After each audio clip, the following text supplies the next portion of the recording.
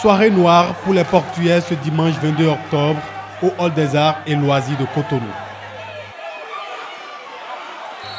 Dans les deux finales de la Ligue du Sud de handball qui ont opposé l'ASPAC aux Flowers du groupe de presse Le Martinal, les protégés de Jean-Luc et de Antoine Aladé n'ont vu que du feu.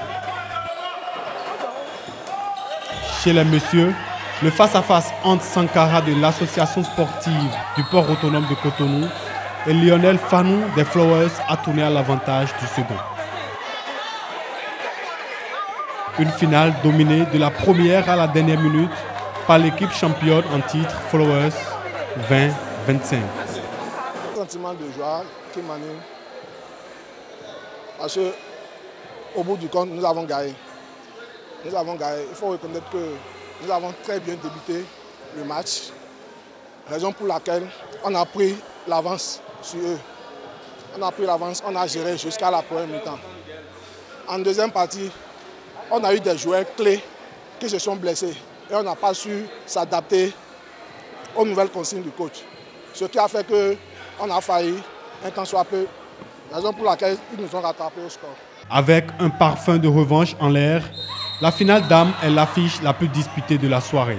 Epiphanie Koudio et ses partenaires, vainqueurs de Flowers lors du tournoi KO, vont courir derrière le score pendant toute la rencontre. Les bâtons d'habitude, c'est pour une première qu'elle nous bat, c'est pour le championnat départemental. On a vu nos faiblesses et, aussi leurs forces.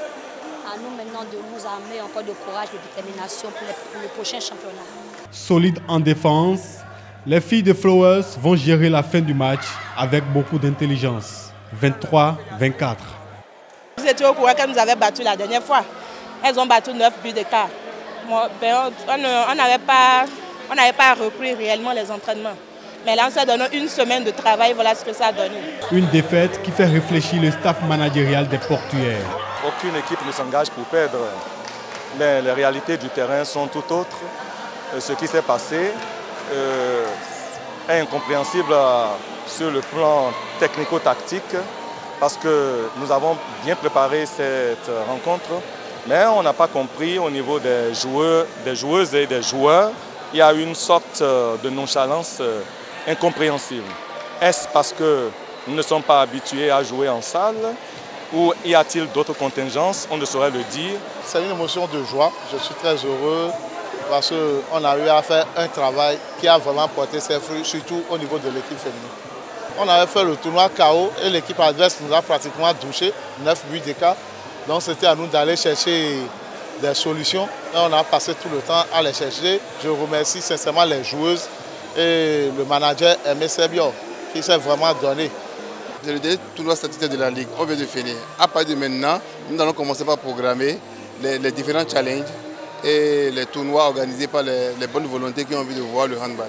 Nous avons, après un petit bilan, nous avons vu qu'au niveau des dames, au niveau des dames, il n'y avait pas assez d'équipes. Au niveau des catégories d'âge également, c'était pratiquement désert. Nous avons vu quelques-uns, mais ce n'était pas ça.